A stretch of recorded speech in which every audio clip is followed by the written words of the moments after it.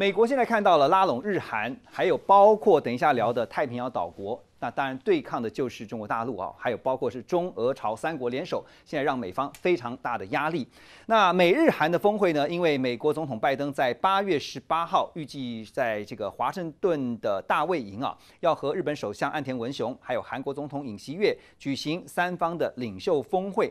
美日韩未来呢将会定期在韩半岛举行联合军演，并且呢改善情报分享的机制，而且要掌握北韩试射飞弹的实地的实时的状况哈。三国领袖也同意说，每年至少要举行一次三方的峰会，来加强三国的合作。现在看到美日韩就是朝联手的这样的一个趋势跟方向，当然为的就是对抗中俄朝的可能联手哈。但是有一个问题来了。石原老师正好今天来分析一下 日本跟韩国哈，我们向来知道说各有各自的利益考量哈，真的美日韩，你说美日跟美韩要合作，这不意外。可是日韩之间的不和真的是完全可以消除吗？嗯，这个当然日韩之间的矛盾是长期来说不容易消除了。嗯，不过其实我们先讲美国的部分呢，因为美国白点的部分是来说同盟关系来。减小自己的安保上的负担呢，这是在美国的利益来说非常一致的。那第二个部分，日本来说，包含北韩，当然主要是北韩啦，因为对对中国东北亚的安全问题，日美韩的安保的合作的架构还是很重要。难过这次这美国开会，对这次的报道说以后就定期开会了，这个我觉得非常值得肯定的。对日本的立场来说，日韩之间过去这个文在寅那个时代。这个基索米啊，这个情报分享的问题啊，他每一次这个东西要不要延期，当做对日本关系的筹码了。这些日本方面感觉每次受到一些韩国的骚扰了。对，不过如果日美韩的这个安全的一些合作的机制搞定的话，这方面韩国为了对抗日本什么样，不会脱不会脱离现实的一些态度了。老师，因为关键在于说情报共享啊。这个部分，我觉得会不会日韩在情报这个部分就不会这么大大方啊？我这个是日韩之间也许不容易，不过是美国主导了，美日加韩国，美韩加日这样的架构了。日韩单独做，当然可能有些问题了。嗯当然，这个美国在中间应该一起处理，可能比较好事的啊。美国国会正在审议拜登总统的提案呢，希望呢为这个马绍尔群岛共和国、还有密克罗尼西亚联邦以及呢这个帛琉共和国啊三个岛屿的之间的一个这个自由联系契约啊，简称是 C F 呃 C O F A。那么这样的一个协议啊，主要是因为美国呢为这三个国家提供数十亿美元的经济还有安全援助，而这三国呢则同意让美国增建基地。追踪飞越太平洋的弹道飞弹，而且还要同意让中国大陆北京方面呢无法涉足这一块面积大约是五百六十万平方公里的这个太平洋地区哈，呃，所以说如果真的成功的跟这三个国家签订这个安全协议啊，大家想问的是，到底能够抵消多少大陆插旗，特别在所尔门呃所罗门群岛所带来的威胁？啊，我们先提到啊，其实中国呢在上个月七月十号，跟所罗跟这个所罗门呢，他其实哦，就是很突然的签了一个叫全面战略伙伴协定，嗯，把美国急了，显而易见，中国现在已经明确已经插旗在这个所谓太平洋岛国，所以这次呢，美国呢，他这个就是呃铁了心，就是要跟所罗门、伯琉这些呢来进行所谓的签订一个哦叫自由联系的契约哦，那再来看起来呢，为什么这个地这战略地为什么如此之重要呢？因为之所以是成为中美的一个呃兵争兵家必争之地呢，是来自于哦，因为它具有重要的一个战略地理哦。那因为它一是美国呢这个太平洋的一个呃这个前进基地哦，然后也可以对中国及潜在敌人进行它的一个情报监视哦，还有它的这个情报收集。那此外呢，其实它也可以部署所谓弹道飞弹的一个追踪，那包括限制中国的影响力哦。那所以呢，它就是美国可以限制中国呢来这个在五百。呃，五百六十万平方公里的一个地方的影响力，然后此外也能防止中国在这边哦进行它的军事基地，因为我们知道中国最近无所不用其极啊，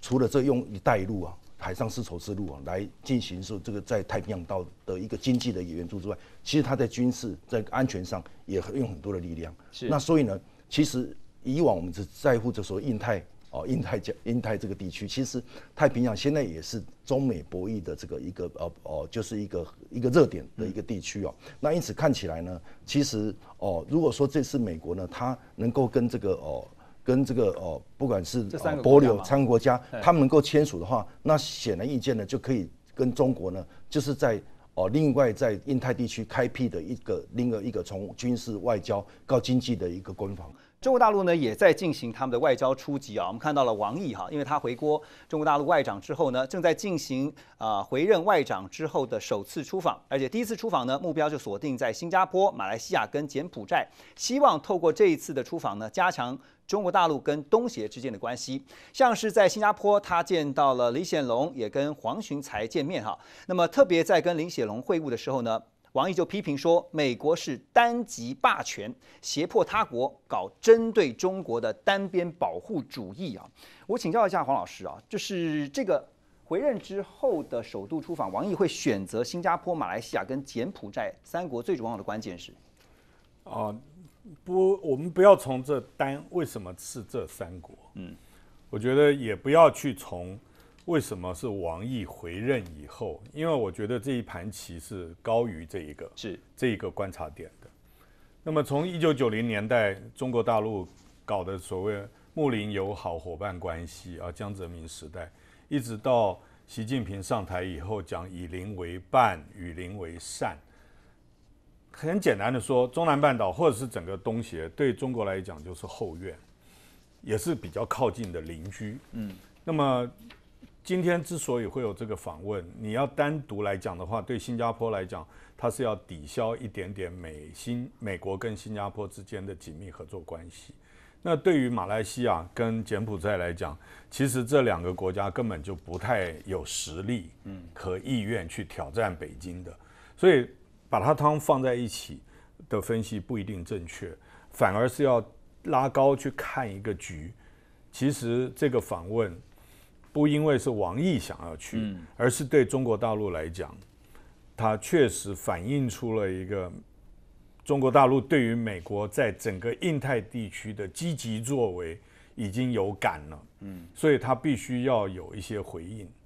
换一句话说，中国大陆不管是对于美我们刚刚讲到的美日韩之间的问题，或者是呃美国跟东协国家、跟太平洋岛国等等合作，整个印太这个局。布起来以后，对中国大陆来讲，我们不要讲围堵，也不要讲封锁，也不要讲包围，但是在整个印太地区，中国大陆现在是处于相对比较孤单的一面，所以它必须要破这个局。嗯，那如果我们再把它放大一点的话，你看沙地阿拉伯的那个有关乌克兰的会议，中国大陆被邀请参加，所以就整个来讲的话，呃，中国大陆它必须要在这些议题上面。展开另一波的积极性，不然的话，美国这个棋啊，每一个地方下到都有中国大陆必须要面对的对外痛点。对，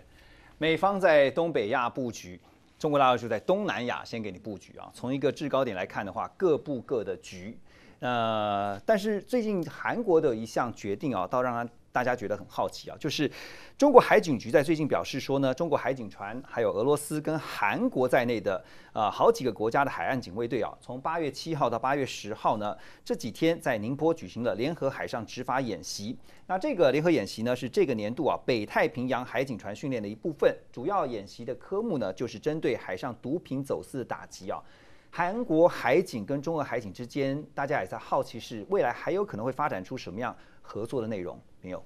其实这个合作哈，它并不是这一次才开始，它是在二零一五年的时候，中国海警局就跟这个韩国的海洋警察局有一个共同合作的备忘录。是，那到目前为止，今年的六月十三号，它就已经进行了第六次的交流哈，高级别的交流，就是两边的局长跟厅长，那协呃还有所有的这些呃重要的主管哈，他们主要的交流有人员互访、业务交流、业联合巡航以及共同打击海上犯罪。